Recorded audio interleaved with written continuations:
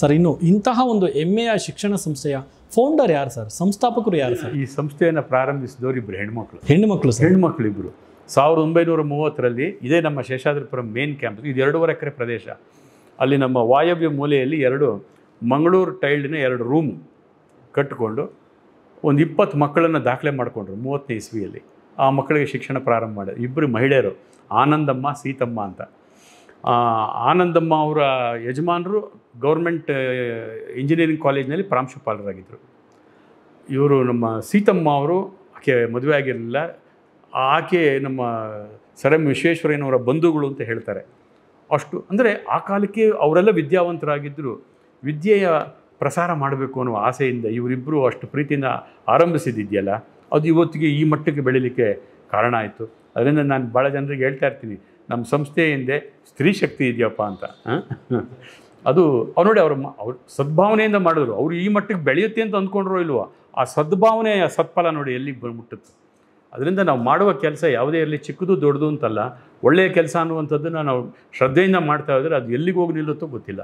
Sir ಇನ್ನು Seshadripuram college ಬಗ್ಗೆ ಮಾತಾಡೋದಾದ್ರೆ ಈಗ ಫಸ್ಟ್ ಸ್ಟ್ಯಾಂಡರ್ಡ್ ಇಂದ ಹಿಡಿದು ಡಿಗ್ರಿವರೆಗೂ ಈ ಒಂದು ಇದೆ ಸೊ ಕರ್ನಾಟಕ ರಾಜ್ಯದಲ್ಲಿ ಬೇರೆ ಏನಾದರೂ ಬ್ರಾಂಚಸ್ ಇದೆಯಾ? ಇದೆ ಮೇಡಮ್ ಈಗ ನಾವು ಒಟ್ಟು ನಾಲ್ಕು ಜಿಲ್ಲೆಗಳಲ್ಲಿ ಈಗ ನಾವು ಸಂಸ್ಥೆಗಳನ್ನು ನಡೆಸ್ತಾ ಇದ್ದೀವಿ. ಬೆಂಗಳೂರು ಜಿಲ್ಲೆ ಇಲ್ಲೇ ಸುಮಾರು ಒಂದು ಹದಿನಾಲ್ಕು ಕ್ಯಾಂಪಸ್ಗಳಿವೆ ತುಮಕೂರಿನಲ್ಲಿ ಒಂದು ನಾಲ್ಕು ಕ್ಯಾಂಪಸ್ ಇದೆ.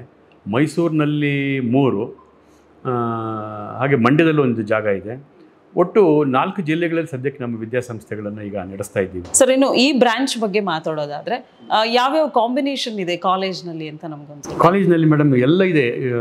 B C A B com ಆಮೇಲೆ B B A M com ಆಮೇಲೆ ನಮ್ಮ ಯಲಹಂಕದಲ್ಲಿ ಎಂ ಬಿ ಎ ಪ್ರೋಗ್ರಾಮ್ಸ್ ಇದೆ.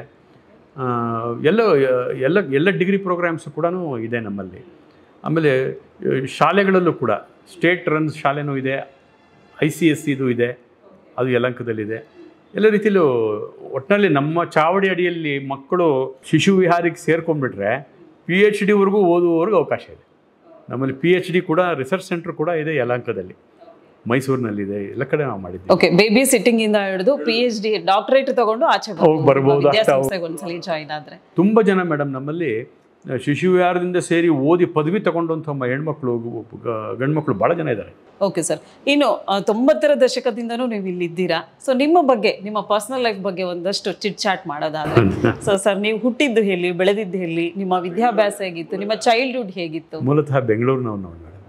ನಾವೆಲ್ಲ ಒಂದು ಸ್ವಾತಂತ್ರ್ಯ ಹೋರಾಟಗಾರರ ಮನತಂದಿಂದ ಬಂದವನ್ನ ನಮ್ಮ ತಂದೆಯವರು ಫ್ರೀಡಮ್ ಫೈಟರ್ ನಮ್ಮ ದೊಡ್ಡಪ್ಪ ನಮ್ಮ ತಾತನವರು ಎಲ್ಲರೂ. ನಮ್ಮ ತಾತನವರು ಹಳೆ ಕಾಲದಲ್ಲಿ ಬೆಂಗಳೂರಿನ ನಿರ್ಮಾತೃಗಳಲ್ಲಿ ಒಬ್ಬರು ಅವರು ಬೆಂಗಳೂರಿನ ಮೇಯರ್ ಆಗಿದ್ದವರು. ಅವ್ರ ಹೆಸರು ನಾವಿದ್ದ ಮನೆಗೆ, ಗಾಂಧಿನಗರದಲ್ಲಿ ಆ ಬೀದಿಗೆ ಹೆಸರಿಟ್ಟಿದ್ದಾರೆ ಡಬ್ಲ್ಯೂ ಎಚ್ ಹನುಮಂತಪ್ಪ ಅಂತ. ಭಾಳ ಹಳಬರು ಭಾಳ ದೊಡ್ಡ ಸೇವೆ ಮಾಡಿದಂಥ ಜನ. ಹಾಗಾಗಿ ನನಗೂ ಒಂಥರ ಆ ಪರಿಣಾಮ ಜಾಸ್ತಿಯಾಗಿ ನಾನು ಗಾಂಧಿನ ವಿಶೇಷವಾಗಿ ಓದ್ಕೊಂಡು, ನಾನು ಇಂಜಿನಿಯರಿಂಗ್ ಮಾಡಿದೆ ಲಾ ಮಾಡಿದೆ, ನಂತರ ಪಿ ಎಚ್ ಡಿ ಮಾಡಿದೆ, ಏನು ಮಾಡಿದರೂ ಕೂಡ ಗಾಂಧಿ ಬಗೆಗಿನ ಒಂದು ಒಲವು ಅವರ ಒಂದು ಬದುಕು ಅದು ಅದು ನಮ್ಗೆ ವಿಶೇಷವಾದಂಥ ಪರಿಣಾಮ ಬೀರಿದ್ದು. ನಂತರ ನನಗೆ ರಾಮಕೃಷ್ಣ ಆಶ್ರಮದಲ್ಲಿ ಓದುವ ಅವಕಾಶ ಸಿಕ್ತು ಮೈಸೂರಲ್ಲಿ. ಸ್ವಾಮಿ ವಿವೇಕಾನಂದರ, ರಾಮಕೃಷ್ಣ ಪರಮಹಂಸರ ಶಾರದಾದೇವಿ ಅವರ ಜೀವನ, ಸಂದೇಶ ಇವೆಲ್ಲವೂ ಕೂಡ ನಮ್ಮ ಮೇಲೆ ಪರಿಣಾಮ ಬೀರಿತು. ಒಟ್ಟಾರೆ ನನಗೆ ವಿವೇಕಾನಂದರ ಚಿಂತನೆ ಒಂದು ಏನು ಇಡಿಸ್ತು ಅಂದರೆ, education is the basic remedy for many of the ills of the nation.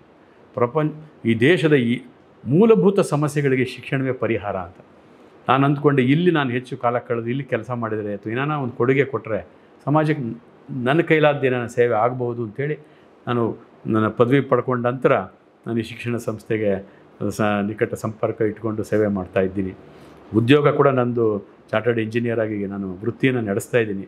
ಜೊತೆ ಜೊತೆಯಲ್ಲಿ ಈ ಸೇವೆಯನ್ನು ಕೂಡ ನಾನು ಮಾಡ್ತಾ ಇದ್ದೀನಿ. ಇನ್ನು ಸರ್ ತಮ್ಮ ಬಗ್ಗೆ, ಆ ಸಂದರ್ಶನ ಇದೆ ಅಂತ ಹೇಳಿದ ತಕ್ಷಣ ಒಂದಷ್ಟು ಮೆಟೀರಿಯಲ್ ಹಾಕ್ಕೊಂಡು ತಮ್ಮ ಬಗ್ಗೆ ಸ್ಟಡಿ ಮಾಡೋದಕ್ಕೆ ಶುರು ಮಾಡ್ಕೊಂಡ್ವಿ. ಅಲ್ಲಿ ಸಿಕ್ಕಂಥ ಒಂದು ಅಚ್ಚರಿ ಸಂಗತಿ ಏನಂದರೆ ಕಳೆದ ಬಾರಿ ನಮ್ಮ ಆಫೀಸ್ಗೆ ಲೋಕಾಯುಕ್ತರಾದಂಥ ಸಂತೋಷ್ ಹೆಗ್ಡೆ ಅವರು ಬಂದಿರೋದು ಸರ್. ಅವರು ಒಂದು ಲೋಟ ನೀರು ಕುಡಿಯೋದಕ್ಕೂ ಕೂಡ ಅವರು ಹಿಂಜರಿದ್ರು. ಅಂದರೆ ಅಷ್ಟೊಂದು ಆನೆಸ್ಟ್ಲಿ ಅಂದರೆ ತುಂಬ ಪಾರದರ್ಶಕವಾಗಿ ತುಂಬ ಆದರ್ಶಪ್ರಾಯ ವ್ಯಕ್ತಿಗಳು.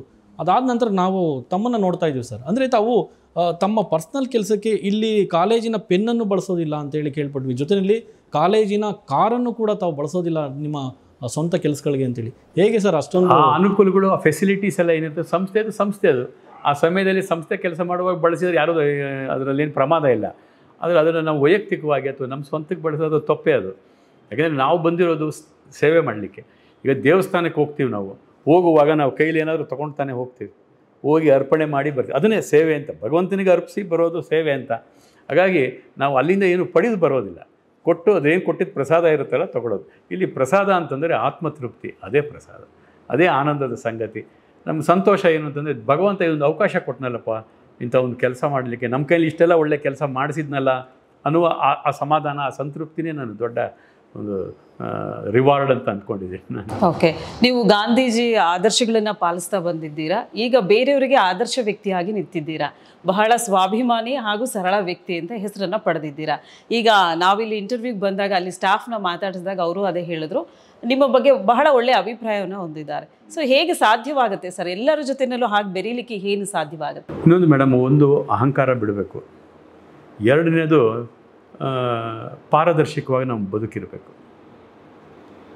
ಪಾರದರ್ಶಕವಾಗಿದ್ದು ಅಹಂಕಾರ ಬಿಟ್ಟರೆ ಎಲ್ಲರಿಗೂ ನಾವು ಹತ್ತಿರ ಆಗ್ತೀವಿ. ಯಾಕಂದರೆ ಒಬ್ಬರಿದ್ದಂಗೆ ಇನ್ನೊಬ್ಬರಿಲ್ಲ ನಾವೆಲ್ಲರನ್ನೂ ಓಲೈಸೋಕ್ಕಾಗಲ್ಲ. ಎಲ್ಲರನ್ನೂ ಸಮಾಧಾನ ಪಡಿಸೋಕ್ಕಾಗಲ್ಲ ಆದರೆ ಅವರು ಗಮನಿಸ್ತಾ ಇರ್ತಾರೆ. ಹತ್ತಿರದಿಂದ ನೋಡ್ತಾ ಇರ್ತಾರೆ ಇವನ್ನೆಷ್ಟು ಪ್ರಾಮಾಣಿಕ ಅಂತ. ಒಂದು ಸರ್ತಿ ನೋಡ್ತಾರೆ ಎರಡು ಸರ್ತಿ ನೋಡ್ತಾರೆ. ನೋಡಿ ನೋಡಿ ನೋಡಿ ನೋಡಿ ನೋಡಿ ಆಮೇಲೆ ಅವರೇನೆ ಆಪ್ತರಾಗ್ತಾರೆ. ಅವರು ನಮ್ಗೆ ಸಾಥ್ ಕೊಡ್ತಾರೆ. ಸರ್ ನಿಮ್ಮ ಹಾಬೀಸ್ ಬಗ್ಗೆ ತಿಳ್ಕೊಳ್ಳೋಂಥ ಕುತೂಹಲ ನನಗೆ. ನಾನು ಬೇಸಿಕಲಿ ಟೆಕ್ನಾಲಜಿಸ್ಟು ಮೇಡಮ್ ನಾನು. ನನಗೆ ಸ್ವಲ್ಪ ಟೆಕ್ನಾಲಜಿ ಬಗ್ಗೆ ಭಾಳ ಆಸಕ್ತಿ. ನಾನು ನಮ್ಮದು ಇಂಡಿಯನ್ ಟೆಕ್ನಾಲಜಿ ಕಾಂಗ್ರೆಸ್ ಅಸೋಸಿಯೇಷನ್ ಅಂತ ಒಂದು ಸಂಸ್ಥೆ ಇದೆ. ಅದರಲ್ಲಿ ನಾನು ಕೂಡ ಜೋಡಿಸ್ಕೊಂಡಿದ್ದೀನಿ. ನಾವೀಗ ಇತ್ತೀಚೆಗಷ್ಟೇ ನಾವು ಇದಕ್ಕೆ ಹೋಗಿದ್ವಿ. ಅದು ಇತ್ತೀಚೆಗೆ ಅಂದರೆ ಒಂದು ಎರಡು ಸಾವಿರದ ಹದಿನೇಳರಲ್ಲಿ ಇಸ್ರೇಲಿಗೆ ಹೋಗಿದ್ವಿ. ಅಲ್ಲಿ ಆಶ್ಚರ್ಯ ಆಗಿದ್ದು ಏನಂದರೆ ಮೇಡಮ್, ಶಾಲಾ ಮಕ್ಕಳು ಸ್ಯಾಟಲೈಟ್ನ ಮಾಡ್ತಾಯಿದ್ರು ಮಾಡ್ತಾ ಇದ್ದದ್ದನ್ನು ನಾನು ಕಣ್ಣಾರೆ ನೋಡಿ ಬಂದೆ ಅಲ್ಲಿ. ಅಲ್ಲಿ ಪಬ್ಲಿಕ್ ಶಾಲೆಗಳು, ಪಬ್ಲಿಕ್ ಸ್ಕೂಲ್ಸ್ ಅಂದರೆ ಗೌರ್ಮೆಂಟ್ ಶಾಲೆ. ನಾನು ಡಾಕ್ಟರ್ ಮುರಳೀಕೃಷ್ಣ ರೆಡ್ಡಿ ಅವರು ಅಂತ ನಮ್ಮ ಅಧ್ಯಕ್ಷರೆಲ್ಲ ನಾವೆಲ್ಲ ಚರ್ಚೆ ಮಾಡಿ, ಗೋಪಾಲಕೃಷ್ಣನ್ ಅಂತ ಇನ್ನೊಬ್ರು ಇದ್ದಾರೆ ಭಾಳ ದೊಡ್ಡ ವಿಜ್ಞಾನಿಗಳು. ನಾವು ಇದೇನಾದರೂ ಮಾಡಿ, ಅವರು, ಅವರ ದೇಶದ ಎಪ್ಪತ್ತೈದನೇ ವರ್ಷಕ್ಕೆ ಸ್ಯಾಟಲೈಟ್ಗಳನ್ನ ಮಾಡ್ತಾಯಿದ್ರು ಮಕ್ಕಳ ಕೈಲಿ ಮಾಡಿಸ್ತಾಯಿದ್ರು ನಾನು ಹೇಳಿದೆ, ನಮ್ಮ ದೇಶಕ್ಕೂ ಎಪ್ಪತ್ತೈದು ವರ್ಷ ತುಂಬ್ತಾ ಇದೆ, ಸ್ವಾತಂತ್ರ್ಯ ಬಂದು. ನಾವು ಈ ರೀತಿದು ಯಾಕೆ ಮಾಡಿಸ್ಬಾರ್ದು? ಮಕ್ಕಳ ಕೈನಲ್ಲಿ.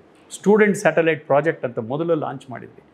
ಮಾಡಿ ಇವತ್ತು ಮಕ್ಕಳ ಕೈನಲ್ಲಿ ಸುಮಾರು ಇಪ್ಪತ್ತೆಂಟಕ್ಕೂ ಹೆಚ್ಚು ಇದು ಸ್ಯಾಟಲೈಟ್ಸ್ ಈಗಾಗಲೇ ದೇಶದಾದ್ಯಂತ ಲಾಂಚ್ ಮಾಡಿಬಿಟ್ಟಿದ್ದೀವಿ. ಇನ್ನು ಕೆಲವು ಆಗಲೇ they're all in the pipeline ಆ ಒಂದು ಕಾರ್ಯಕ್ರಮದಲ್ಲಿ ಕೂಡ ನಾನು ಅಸೋಸಿಯೇಟ್ ಆಗಿದ್ದೀನಿ. ಒಂದು ರೀತಿ ಏನೋ ಸಮಾಧಾನ ನನಗೆ. ಮಕ್ಕಳಲ್ಲಿ ಚಿಕ್ಕ ಮಕ್ಕಳ ಕೈನಲ್ಲಿ ದೊಡ್ಡ ದೊಡ್ಡ ಕೆಲಸ ಮಾಡಿಸ್ಬೋದಲ್ಲ? ಇವತ್ತು ಸಾಧ್ಯ ಆಗ್ತಾ ಇದೆ. ತಾಂತ್ರಿಕತೆ ಅದನ್ನು ಸಾಧ್ಯತೆ ಮಾಡಿಕೊಡ್ತಾ ಇದೆ. ಈ ಮಕ್ಕಳು ಕೂಡ ಪುಣ್ಯ ಮಾಡಿದ್ದಾರೆ. ಇಷ್ಟು ಈ ಈ ಲೆವೆಲ್ ಎಕ್ಸ್ಪೋಷರ್ ನಮಗೆಲ್ಲ ಇಲ್ಲದೇ ಇರೋದು ಈ ಮಕ್ಕಳಿಗೆ ಸಿಕ್ಕಿದೆಯಲ್ಲ? ನಾನು ಮಾಡಬೇಕು ಅಂತೇಳಿ ಆ ನಿಟ್ಟಿನಲ್ಲಿ I am spending as a hobby ಅದನ್ನು ಭಾಳ ನನ್ನ ಬಹುತೇಕ ಸಮಯ ಅದಕ್ಕೂ ಕೂಡ ನಾನು ವಿನಿಯೋಗಿಸ್ತಾ ಇದ್ದೀನಿ. ಇನ್ನು ಸಮಯ ಹೇಗೆ ಸಿಗುತ್ತೆ ಸರ್ ತಮಗೆ? ಅಂದರೆ ತಾವು ಬಹುಮುಖ ಪ್ರತಿಭೆ ಅಂತ ಹೇಳಿದ್ರೆ ಬಹುಶಃ ತಪ್ಪಾಗಲಿಕ್ಕಿಲ್ಲ.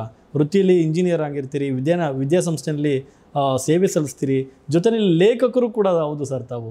ಹಲವಾರು ಪುಸ್ತಕಗಳನ್ನ ಹೊರತಂದಿದ್ದೀರಿ ಇನ್ನೂ ಕೆಲವೊಂದು ಪುಸ್ತಕಗಳು ಮುದ್ರಣದ ಹಂತದಲ್ಲಿ ಹೇಗೆ ಸಾಧ್ಯವಾಯಿತು ಸರ್ ಇದೆಲ್ಲ ಅಂತ? ನಮ್ಮ ಸಮಯವನ್ನು ಸರಿಯಾಗಿ ಸದ್ಬಳಕೆ ಮಾಡಿಕೊಂಡ್ರೆ ಆಗುತ್ತೆ. ಅದಕ್ಕೆ ನಾನು ಎಲ್ಲರೂ ಹೇಳೋದು ಅಂತಂದರೆ plan your work and work your plan plan your work ಮೊದಲು ಟು ಡೂ ಲಿಸ್ಟ್ ಹಾಕ್ಕೊಳ್ಳಿ ಯಾವುದು ಇಂಪಾರ್ಟೆಂಟು ಮೊದಲು ಪ್ರಯಾರಿಟೈಸ್ ಮಾಡಿ. ಸೆಕೆಂಡ್ ಪ್ರಯಾರಿಟಿ ಥರ್ಡ್ ಪ್ರಯಾರಿಟಿ ಆ ರೀತಿ ಮಾಡಿಕೊಂಡು ಅತ್ಯಂತ ಕಷ್ಟವಾದ್ದು ಮತ್ತು ಭಾಳ ಪ್ರಯಾರಿಟಿ ಇರೋದನ್ನು ಮೊದಲು ಮಾಡೋ ಪ್ರಯತ್ನ ಮಾಡಬೇಕು. ಆಮೇಲೆ ಅದಕ್ಕೆ ಟೈಮ್ ಅಲಾಟ್ ಮಾಡ್ಕೊಳ್ತಾ ಹೋಗಬೇಕು. ನೋಡಿ ಡೈಲಿ ನಾನು ಬರುವಾಗ ನನ್ನ ಪ್ರೋಗ್ರಾಮ್ಸ್ ಎಲ್ಲ ಈ ರೀತಿ ನಾನು ಬರ್ಕೊಂಡು ಬಂದಿರ್ತೀನಿ. ಒಂದಾದ್ಮೇಲೆ ಒಂದಾದಮೇಲೆ ಐ ಸ್ಕ್ರ್ಯಾಚ್. ಯಾವ್ದಾದ್ರು ಪೋಸ್ಟ್ಪೋನ್ ಆದರೆ ತೆಗೆದು ಡೈರಿಲಿ ಎಂಟರ್ ಮಾಡ್ತೀವಿ. ಲಾಯರ್ಗಳು ಕೇಸ್ ಪೋಸ್ಟ್ಪೋನ್ ಆದರೆ ಹೆಂಗೆ ಡೇಟ್ ಹಾಕೋತಾರಲ್ಲ ಹಿಯರಿಂಗ್ ಡೇಟ್ ಎಂಟರ್ ಮಾಡಿಕೊಂಡು ನಾನು ಎಂಟರ್ ಮಾಡ್ಕೊಂಡು ಐ ಫಾಲೋ ಇಟ್ ಅಪ್ ಈಗ ಮಾಡೋದ್ರಿಂದ ಏನಾಗುತ್ತೆ? You can use your time well ಸಮಯವನ್ನು ಬಳಸ್ಕೊಳ್ಳೋದಿದೆಯಲ್ಲ you can do hundred things but ಸಮಯವನ್ನು ಸರಿಯಾಗಿ ಬಳಸ್ಕೋಬೇಕು ಸಮಯನೇ ಒಬ್ಬ ವ್ಯಕ್ತಿಯ ಯಶಸ್ಸಿನ ಒಂದು ಗುಟ್ಟು ಅಂತ ಹೇಳ್ಬೋದು. ಖಂಡಿತ. ಅದಿಲ್ಲದೆ ನೋಡಿ ಶಾಲಾ ದಿನಗಳಲ್ಲಿ ನಾವು ಟೈಮ್ ಟೇಬಲ್ ಹೇಗೆ ಹಾಕೊಂಡು ಒಂದು ಯಶಸ್ಸಿನ ಒಂದು ಉತ್ತುಂಗಕ್ಕೆ ಹೋಗ್ತಾ ಹೋಗ್ತೀವಲ್ಲ ಹಾಗೆ ಹಾಗೆ ಜೀವನದಲ್ಲೂ ಮಾಡ್ತಾ ಹೋಗ್ಬೇಕಾ ಅಂತ ಖಂಡಿತ. ಟೈಮ್ ಟೇಬಲ್ ಇಲ್ಲ ಅಂದ್ರೆ ನಾವು ಯಶಸ್ಸು ಕಾಣೋದಕ್ಕೆ ಸಾಧ್ಯ ಇಲ್ಲ ಅಂತ ನೋಡಿ ನಮಗೆ ದೇವ್ರು ಕೊಟ್ಟಿರೋದು ಒಂದೇ ದೊಡ್ಡ ವರ ಸಮಯ. ಆಮೇಲೆ ಸಮಯ ಕಳ್ಕೊಳ್ತಾ ಹೋಗ್ತದೆ. ಅದೊಂದೇನೆ ನಮ್ಮಿಂದ ಕಡಿಮೆ ಆಗ್ತಾ ಹೋಗೋದು ಕಡಿಮೆ ಆಗ್ತಾ ಹೋಗೋದು ನಶಿಸ್ತಾ ಹೋಗೋದು ಅದೊಂದೇ ಅದನ್ನು ನಾವು ರಿಯಲೈಸ್ ಮಾಡ್ಕೊಳ್ದೇ ಇದ್ದರೆ ಸುಮ್ಮನೆ ಹಿಂತಿರುಗಿ ನೋಡಿ ಸಮಯವನ್ನೆಲ್ಲ ಕಳ್ಕೊಂಡು ವ್ಯರ್ಥ ಮಾಡಿಕೊಂಡು ಇದು ಹಣನೂ ಮುಖ್ಯ ಅಲ್ಲ ನನ್ನ ಪ್ರಕಾರ. ಹಣವೂ ಮುಖ್ಯ ಅಲ್ಲ ಸಂಪನ್ಮೂಲ ಯಾವುದು ಮುಖ್ಯ ಅಲ್ಲ ಸಮಯ ಮುಖ್ಯ. ಯಾರು ಸಮಯವನ್ನು ಗೌರವಿಸ್ತಾನೋ ಅವನು ಎಲ್ಲವನ್ನು ಪಡಿತಾನೆ. ಏನು ಸರ್ ನೀವು ಒಳ್ಳೆ ಒಬ್ಬ ಆರ್ಬಿಟ್ರೇಟರ್ ಅನ್ನೋ ಒಂದು ಮಾಹಿತಿ ನಮಗೆ ಸಿಕ್ಕಿದೆ. ಇದ್ರ ಬಗ್ಗೆ ಹೇಳೋದಾದರೆ. ಅದು ಏನಿಲ್ಲ ಮೇಡಮ್ ನಾನು ಲಾ ಮತ್ತು ಇಂಜಿನಿಯರಿಂಗ್ ಎರಡೂ ಮಾಡಿರೋದರಿಂದ ಇದಕ್ಕೆ ಟೆಕ್ನೋ ಲೀಗಲ್ ವರ್ಕ್ ಅಂತಾರೆ. ಈಗ ಫಾರ್ ಎಕ್ಸಾಂಪಲ್ ಎಲ್ಲೋ ಒಂದು ಡಿಸ್ಪ್ಯೂಟ್ ಬಂತು. ಯಾವುದೋ ಒಂದು ಇಂಜಿನಿಯರಿಂಗ್ ಡಿಸ್ಪ್ಯೂಟು ಕಾಂಟ್ರಾಕ್ಟ್ ಇಶ್ಯೂ ಸಂಬಂಧಿತ. ಅದಕ್ಕೆ ಬೇಕಾದರೆ ಆರ್ಬಿಟ್ರೇಟರ್ಸ್ ಆಗಿ ನಮ್ಮ ನೇಮಕ ಮಾಡ್ಬೋದು. ಯಾಕಂದರೆ ನನಗೆ ಕಾನೂನಿನ ಜ್ಞಾನವೂ ಇದೆ ಇಂಜಿನಿಯರಿಂಗ್ ಜ್ಞಾನವೂ ಇದೆ.